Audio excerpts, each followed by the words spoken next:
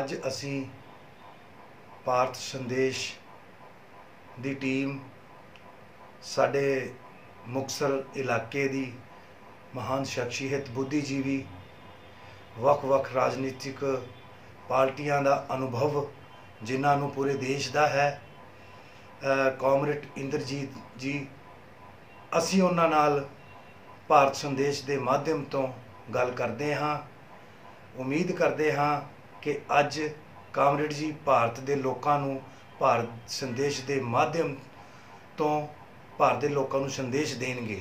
ਸਭ ਤੋਂ ਪਹਿਲਾਂ ਕਾਮਰੇਡ ਜੀ ਬਹੁਤ ਬਹੁਤ ਧੰਨਵਾਦ ਤੁਹਾਡਾ।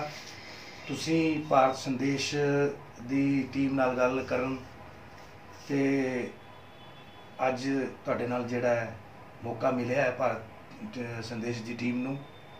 ਤੁਹਾਡਾ ਬੜਾ ਲੰਮਾ ਤਜਰਬਾ ਰਿਹਾ ਹੈ ਪੋਲੀਟੀਕਲ ਐਂਗਲ ਤੋਂ ਵੀ ਸਮਾਜਿਕ ਤੇ ਵੱਖ-ਵੱਖ ਮੁੱਦਿਆਂ ਤੇ। ਸਭ ਤੋਂ ਪਹਿਲਾਂ ਅਸੀਂ ਤੁਹਾਡੇ ਤੋਂ ਇਹ ਸੰਦੇਸ਼ ਲੈਣਾ ਚਾਹੁੰਦੇ ਆ ਕਿ ਅੱਜ ਦੀ ਜਿਹੜੀ ਇਲੈਕਸ਼ਨ ਦੀ ਜਿਹੜੀ ਦੌਰ ਹੈ, ਜਿਹਦੇ ਵਿੱਚ ਪੰਜਾਬ ਹੀ ਨਹੀਂ, ਪੂਰੇ ਦੇਸ਼ ਨੇ ਇੱਕ ਪ੍ਰਧਾਨ ਮੰਤਰੀ ਦੀ ਜਿਹੜੀ ਨਿਯੁਕਤੀ ਕਰਨੀ ਹੈ। ਅਸੀਂ ਪਹਿਲਾਂ ਵੀ 4 4.5 ਸਾਲ ਮੋਦੀ ਗਵਰਨਮੈਂਟ ਦੇ ਵਿੱਚ ਲੋਕਾਂ ਨੇ ਕਿਸ ਤਰ੍ਹਾਂ ਦਾ ਜਿਹੜਾ ਉਹਨਾਂ ਦਾ ਅਨੁਭਵ ਰਿਹਾ ਲੋਕਾਂ ਦਾ ਵੀ ਤੇ ਇਸ ਸਰਕਾਰ ਦਾ ਵੀ। ਕੀ ਤੁਸੀਂ ਪਹਿਲਾਂ ਤਾਂ ਸੰਦੇਸ਼ ਦਿਓਗੇ ਇਹਨਾਂ ਲੋਕਾਂ ਨੂੰ ਕਿ ਭਾਰਤ ਦੀ ਜਿਹੜੀ ਹੈ ਸਥਿਤੀ ਹੈ ਭਾਰਤ ਦੇ ਰਾਜਨੀਤਿਕ ਐਂਗਲ ਦੀ ਉਹ ਕੀ ਹੈ? ਜਦੋਂ ਸਾਰੇ ਦੇਸ਼ ਵਿੱਚ 17ਵੀਂ ਲੋਕ ਸਭਾ ਦੀਆਂ ਚੋਣਾਂ ਹੋ ਰਹੀਆਂ ਹਨ ਸਾਹਮਣੇ ਦੇਖ। ਤਾਂ ਇਹ ਕਿਹਾ ਜਾ ਸਕਦਾ ਹੈ ਕਿ ਪਿਛਲੇ 5 ਸਾਲ ਦਾ ਜਿਹੜਾ ਰਾਜ ਹੈ, ਭਾਰਤੀ ਜਨਤਾ ਪਾਰਟੀ ਮੁੱਖ ਪਾਰਟੀ ਸੀ ਤੇ ਉਹਦਾ ਪ੍ਰਧਾਨ ਮੰਤਰੀ ਦਾ ਚਿਹਰਾ ਜਿਹੜਾ ਮੋਦੀ ਸੀ। ਲੇਕਿਨ ਪਿਛਲੇ 5 ਸਾਲਾਂ ਵਿੱਚ ਮੋਦੀ ਦੇ ਰਾਜ ਵਿੱਚ ਰਾਜਨੀਤਿਕ, ਆਰਥਿਕ, ਸਮਾਜਿਕ, ਸੱਭਿਆਚਾਰਕ ਇਹੋ ਜੀਆਂ ਮੁਸ਼ਕਲਾਂ ਪੈਦਾ ਹੋਈਆਂ, ਇਹੋ ਜੀਆਂ ਸਮੱਸਿਆਵਾਂ ਆਈਆਂ। ਜਿਸ ਨੂੰ ਅੱਜ ਦੀਆਂ ਚੋਣਾਂ ਵਿੱਚ ਵਿਚਾਰੇ ਤੋਂ ਬਗੈਰ ਅਸੀਂ ਅਗਾ ਨਵੀਆਂ ਚੋਣਾਂ, ਨਵੇਂ ਪ੍ਰਧਾਨ ਮੰਤਰੀ ਬਾਰੇ ਕੋਈ ਫੈਸਲਾ ਨਹੀਂ ਕਰ ਸਕਦੇ। ਸੋ ਇਸ ਲਈ ਅੱਜ ਜਦੋਂ ਅਸੀਂ 17ਵੀਂ ਲੋਕ ਸਭਾ ਦੀਆਂ ਚੋਣਾਂ ਮੰਨੀ ਜਾ ਰਹੇ ਹਾਂ, ਤਾਂ ਦੇਸ਼ ਭਰ ਦੇ ਲੋਕ ਇਹ ਮਹਿਸੂਸ ਕਰ ਰਹੇ ਆ ਕਿ ਮੋਦੀ ਦੇ ਰਾਜ ਵਿੱਚ ਦੇਸ਼ ਦੀ ਆਰਥਿਕ ਹਾਲਤ ਬਿਲਕੁਲ ਨਿੱਗਰ ਗਈ ਹੈ। ਦੇਸ਼ ਵਿੱਚ ਜਿਹੜਾ ਸਮਾਜਿਕ ਸਦਭਾਵ ਸੀ ਉਸ ਨੂੰ ਖੇਰੂ ਖੇਰੂ ਕੀਤਾ ਗਿਆ ਹੈ ਤੇ ਦੇਸ਼ ਵਿੱਚ ਇੱਕ ਇਹੋ ਜਿਹਾ ਮਾਹੌਲ ਪੈਦਾ ਕੀਤਾ ਗਿਆ ਜਿਸ ਨਾਲ ਦੇਸ਼ ਵਿੱਚ ਉਹਨਾਂ ਸ਼ਕਤੀਆਂ ਨੂੰ ਸ਼ਹਿ ਮਿਲੀ, ਜਿਹੜੀਆਂ ਸ਼ਕਤੀਆਂ ਦੇਸ਼ ਨੂੰ ਕਮਜ਼ੋਰ ਕਰਨ ਵਾਲੀਆਂ ਇਸ ਲਈ ਅੱਜ ਸਾਰੇ ਦੇਸ਼ ਦੇ ਲੋਕਾਂ ਦਾ ਫਰਜ਼ ਬਣਦਾ ਹੈ ਕਿ ਉਹ ਮੌਜੂਦਾ ਚੋਣਾਂ ਵਿੱਚ ਨਰਿੰਦਰ ਮੋਦੀ ਦੀ ਸਰਕਾਰ ਨੂੰ ਹਟਾ ਕੇ, ਬੀਜੇਪੀ ਦੀ ਸਰਕਾਰ ਨੂੰ ਹਟਾ ਕੇ, ਉਸ ਦੀ ਥਾਂ ਤੇ ਇੱਕ ਨਵੀਂ ਖੱਬੇ ਪੱਖੀਆਂ ਦੀ, ਜਮਹੂਰੀ ਲੋਕਾਂ ਦੀ, ਸੈਕੂਲਰ ਲੋਕਾਂ ਦੀ ਤੇ ਦੇਸ਼ ਭਗਤ ਲੋਕਾਂ ਦੀ ਇੱਕ ਇਹੋ ਜੀ ਸਰਕਾਰ ਜਿਹੜੀ ਆ ਉਹ ਲਿਆਂਦੀ ਜਾਵੇ ਜਿਹੜੀ ਲੋਕਾਂ ਦੇ ਮਸਲਿਆਂ ਨੂੰ ਲੋਕਾਂ ਦੀਆਂ ਮੁਸ਼ਕਲਾਂ ਨੂੰ ਹੱਲ ਕਰਨ ਵੰਨੀ ਆਪਣਾ ਪਹਿਲ ਦੇ ਆਧਾਰ ਤੇ ਕੰਮ ਕਰੇ। ਕਾਣੂ ਜੀ ਜਿਸ ਤਰ੍ਹਾਂ ਕਿ ਤੁਸੀਂ ਦੱਸਿਆ ਕਿ ਲੋਕਾਂ ਦੀ ਜਮਹੂਰੀਅਤ ਲੋਕਾਂ ਦੀ ਏਕਤਾ ਅਖੰਡਤਾ ਦੀ ਕੀ ਇਹ ਸਰਕਾਰ ਦੇ ਵਿੱਚ ਇਹ ਚੀਜ਼ਾਂ ਬਰਕਰਾਰ ਨਹੀਂ ਰਹੀਆਂ? ਇਹ ਕਿਹਾ ਜਾ ਸਕਦਾ ਹੈ ਕਿ ਜਦੋਂ ਆਰਥਿਕ ਹਾਲਤ ਨਿੱਗਰ ਗਈ, ਤਾਂ ਅਸੀਂ ਸਾਰੇ ਦੇਸ਼ ਦੇ ਵੱਖ-ਵੱਖ ਹਿੱਸਿਆਂ 'ਚ ਦੇਖ ਰਹੇ ਹਾਂ ਕਿ ਗਊ ਰੱਖਿਆ ਦੇ ਨਾਂ ਤੇ ਮੌਬ ਲਿੰਚਿੰਗ ਹੋਈ, ਜਿੰਦੇ ਵਿੱਚ ਦਲਿਤ ਤੇ ਘੱਟ ਗਿਣਤੀ ਜਿਹੜੇ ਲੋਕ ਆ, ਉਹਨਾਂ ਨੂੰ ਬਹੁਤ ਹੀ ਬੁਰੀ ਤਰ੍ਹਾਂ ਮਾਰਿਆ ਗਿਆ। ਉਹਨਾਂ ਦੇ ਘਰਾਂ ਨੂੰ ਉਜਾੜਿਆ ਗਿਆ ਤੇ ਅੱਜ ਵੀ ਦਲਿਤ ਤੇ ਘੱਟ ਗਿਣਤੀ ਜਿਹੜੇ ਮੁਸਲਮਾਨ ਆ, ਉਹ ਆਪਦੇ ਆਪ ਨੂੰ ਡਰਿਆ ਮਹਿਸੂਸ ਕਰਦੇ ਆ। ਹੁਣ ਕੀ ਸਟ੍ਰੈਟਜੀ ਦੇਸ਼ ਦੀ ਹੋਣੀ ਚਾਹੀਦੀ ਹੈ? ਸਾਡੇ ਜਿਹੜੇ ਵੋਟਰ ਹੈ, ਆਵਾਮ ਹੈ, ਉਹ ਕਿਸ ਤਰ੍ਹਾਂ ਆਪਣੇ ਆਪ ਨੂੰ ਤੁਹਾਡੇ ਮੁਤਾਬਕ ਜਿਹੜਾ ਹੈ ਰਿਲੀਫ ਇਸ ਸਰਕਾਰ ਦੇ ਵਿੱਚ ਜਾਂ ਕੋਈ ਆਉਣ ਵਾਲੀ ਸਰਕਾਰ ਦੇ ਵਿੱਚ ਇਹ ਮੰਨਣਗੇ। ਇਹਦਾ ਕੋਈ ਕੋਈ ਪੈਮਾਨਾ ਕਿ ਇਸ ਸਰਕਾਰ ਦੇ ਵਿੱਚ ਆ ਚੀਜ਼ਾਂ ਹੋਈਆਂ। ਹੁਣ ਤੁਹਾਡਾ ਕੀ ਅੱਗੇ ਸੰਦੇਸ਼ ਹੈ ਲੋਕਾਂ ਨੂੰ ਕਿ ਕਿਸ ਤਰ੍ਹਾਂ ਦੀ ਉਹ ਗਵਰਨਮੈਂਟ ਹੋਣੀ ਚਾਹੀਦੀ ਹੈ ਜਿਹਦੇ ਵਿੱਚ ਪੂਰੇ ਦੇਸ਼ ਦੇ ਆਵਾਮ ਨੂੰ ਜਿਹੜਾ ਅਮਨ ਤੇ ਚੈਨ ਜਾਂ ਜਿਹੜੀਆਂ ਤੁਸੀਂ ਚਾਹੇ ਗਊ ਹੱਤਿਆ ਹੈ, ਚਾਹੇ ਉਹ ਘੱਟ ਗਿਣਤੀ ਦੀ ਪ੍ਰੋਬਲਮ ਹੈ ਇਹ ਉਹ ਕਿਸ, ਕਿਹੜੀ ਸਟ੍ਰੈਟਜੀ ਹੋ ਸਕਦੀ ਹੈ ਸਾਡੇ ਆਵਾਮ ਦੇ ਲੋਕਾਂ ਨੂੰ? ਕੀ ਸੰਦੇਸ਼ ਹੈ ਤੁਹਾਡਾ? ਇਹ ਕਿਹਾ ਜਾ ਸਕਦਾ ਹੈ ਕਿ ਮੋਦੀ ਦੀ ਜਦੋਂ ਸਰਕਾਰ ਬਣਨੀ ਸੀ, ਬਣ ਰਹੀ ਸੀ, ਤਾਂ ਮੋਦੀ ਨੇ ਬਹੁਤ ਸਾਰੇ ਲੋਕਾਂ ਨਾਲ ਲਾਰੇ ਲਾਏ ਸੀ। ਬਹੁਤ ਸਾਰੇ ਵਾਅਦੇ ਕੀਤੇ ਸੀ ਕਿ 2 ਕਰੋੜ ਦੀਆਂ 2 ਕਰੋੜ ਨੌਕਰੀਆਂ ਦਿਆਂਗਾ ਕਿਸਾਨਾਂ ਲਈ ਵਾਅਦਾ ਕੀਤਾ ਗਿਆ ਸੀ ਕਿ ਸਵਾਮੀਨਾਥਨ ਕਮਿਸ਼ਨ ਦੀਆਂ ਜਿਹੜੀਆਂ, ਉਹ ਸਿਫਾਰਸ਼ਾਂ ਜਿਹੜੀਆਂ, ਉਹ ਲਾਗੂ ਕੀਤੀਆਂ ਜਾਣਗੀਆਂ। ਇਹ ਕਿਹਾ ਗਿਆ ਸੀ ਕਿ ਰਿਜ਼ਰਵੇਸ਼ਨ ਬਾਰੇ ਕੋਈ ਨਹੀਂ ਕਿਹਾ ਜਾਏਗਾ ਕਿ ਰਿਜ਼ਰਵੇਸ਼ਨ ਖਤਮ ਖਤਮ ਕੀਤੀ ਜਾਵੇ। ਅੱਜ ਜਦੋਂ ਸਾਰੇ ਦੇਸ਼ ਵਿੱਚ ਬੇਰੁਜ਼ਗਾਰੀ ਬਹੁਤ ਵੱਧ ਰਹੀ ਹੈ, ਹਾਲਾਤ ਇਹ ਹੈ ਕਿ ਅੱਜ ਪਿਛਲੇ 45 ਸਾਲ ਤੋਂ ਪਹਿਲਾਂ ਜਿਹੜੀ ਬੇਰੁਜ਼ਗਾਰੀ ਦਰ ਸੀ, ਅੱਜ ਉਸ ਤੋਂ ਵੱਧ ਜਿਹੜੀ ਆ ਬੇਰੁਜ਼ਗਾਰੀ ਦਰ ਸਾਡੇ ਦੇਸ਼ ਵਿੱਚ ਹੈ ਸੋ ਪਹਿਲੀ ਜਿਹੜੀ ਸਮੱਸਿਆ ਦੇਸ਼ ਵਿੱਚ, ਉਹ ਬੇਰੁਜ਼ਗਾਰੀ ਦੀ ਹੈ। ਨੌਜਵਾਨਾਂ ਨੂੰ ਰੁਜ਼ਗਾਰ ਮਿਲਣਾ ਚਾਹੀਦਾ। ਇਸ ਦੇ ਨਾਲ ਹੀ ਕਿਸਾਨਾਂ ਦੀ ਜਿਹੜੀ ਸਮੱਸਿਆ ਦਿਨ ਬਾ ਦਿਨ ਵੱਧ ਰਹੀ ਹੈ। ਸਾਰੇ ਦੇਸ਼ ਵਿੱਚ 3 ਲੱਖ ਤੋਂ ਉੱਤੇ ਕਿਸਾਨ ਜਿਹੜਾ ਉਹ ਖ- ਖੁਦਕੁਸ਼ੀ ਕਰ ਚੁੱਕੇ ਹੈ।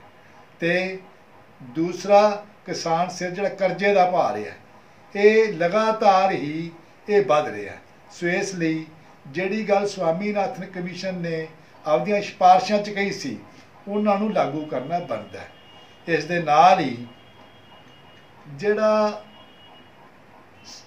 ਸਦਭਾਵ ਜਿਹੜਾ ਲੋਕਾਂ ਦਾ, ਪਹਿਲਾਂ ਕਦੇ ਵੀ ਇਸ ਤਰ੍ਹਾਂ ਨਹੀਂ ਹੋਇਆ ਸੀ ਕਿ ਸ਼ਰੇਆਮ ਜਿਹੜਾ ਉਹ ਦਲਤਾਂ ਦੇ ਕਤਲ ਕੀਤੇ ਜਾਂਦੇ ਸੀ।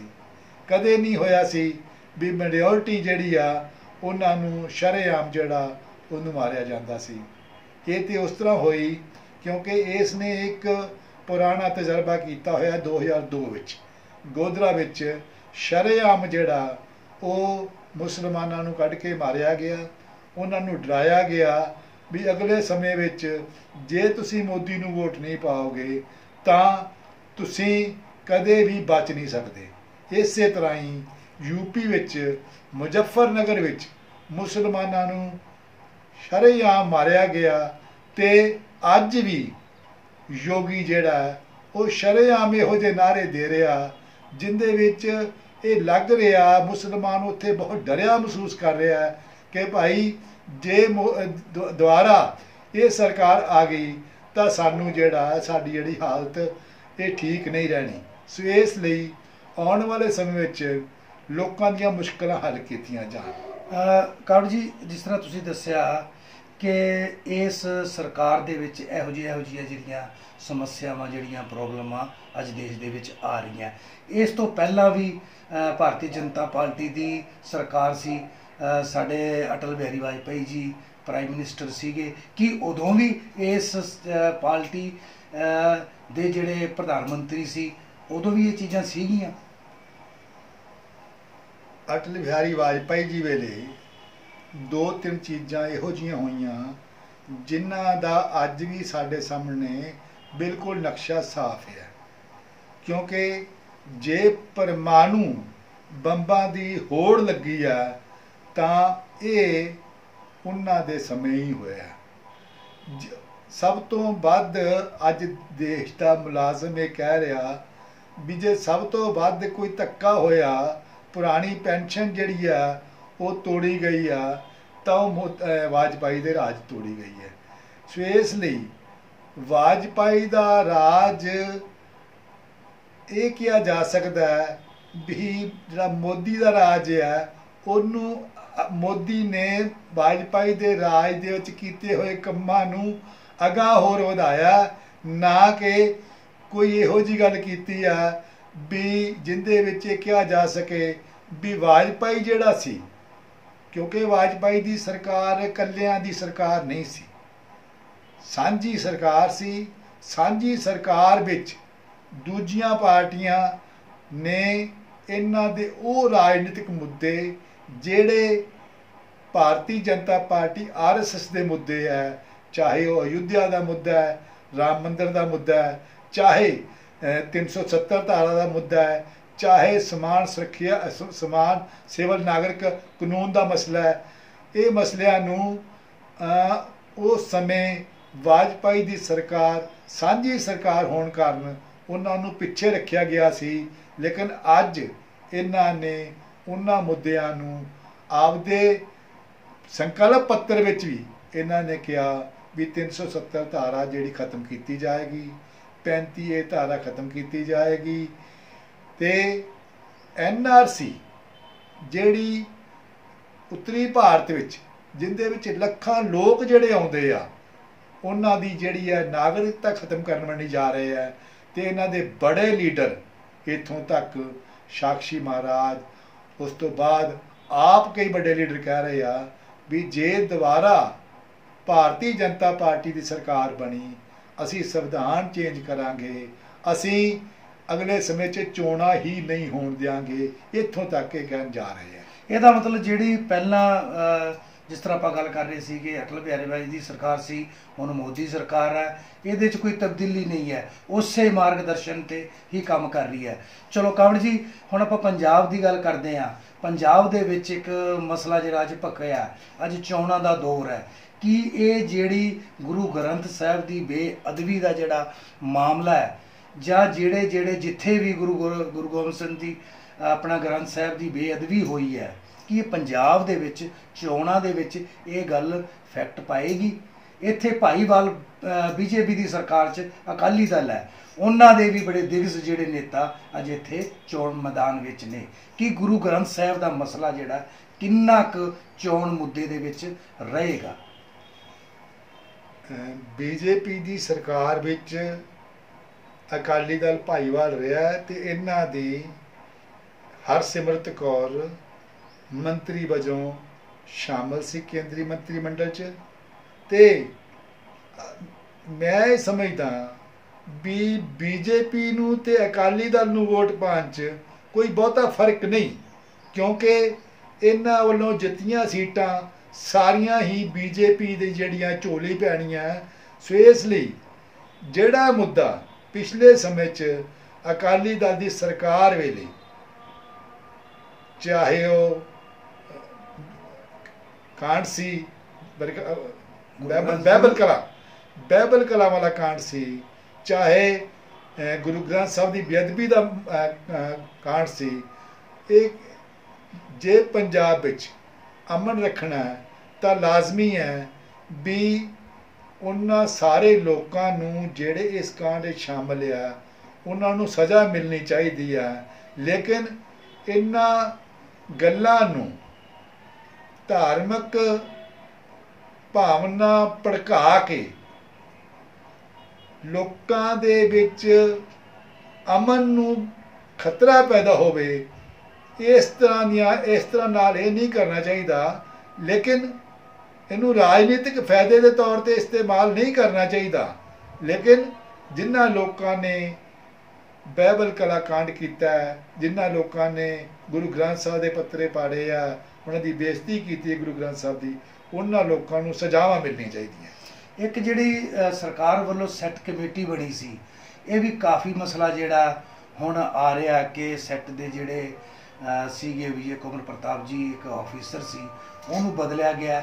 ਇਹਦਾ ਕਿਤੇ ਕੋਈ ਚੋਣਾਂ ਨਾਲ ਕੀ ਸੰਬੰਧ ਹੈਗਾ ਜਿਹੜਾ ਉਹਨੂੰ ਬਦਲ, ਬਦਲਿਆ?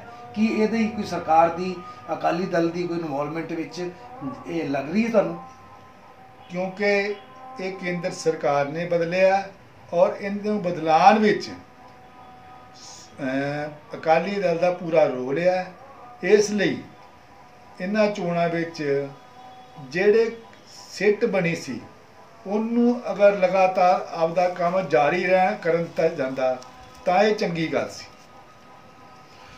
ਇਹ ਸਨ ਸਾਡੇ ਨਾਲ ਕਾਮਰੇਡ ਇੰਦਰਜੀਤ ਜੀ, ਜਿਨ੍ਹਾਂ ਨੇ ਸਾਡੇ ਨਾਲ ਵੱਖ-ਵੱਖ ਰਾਜਨੀਤਿਕ ਪਹਿਲੂਆਂ ਤੇ ਸਾਡੇ ਦੇਸ਼ ਦੇ ਆਵਾਮ ਨੂੰ ਜਿਹੜਾ ਹੈ ਸੰਦੇਸ਼ ਦਿੱਤਾ ਬਹੁਤ-ਬਹੁਤ ਅਸੀਂ ਧੰਨਵਾਦ ਕਰਦੇ ਹਾਂ ਗਵਰਨਮੈਂਟ ਸਾਹਿਬ ਦਾ ਭਾਰਤ ਸੰਦੇਸ਼ ਦੀ ਟੀਮ ਨਾਲ ਗੱਲਬਾਤ ਕਰਨ ਦਾ। ਧੰਨਵਾਦ ਜੀ।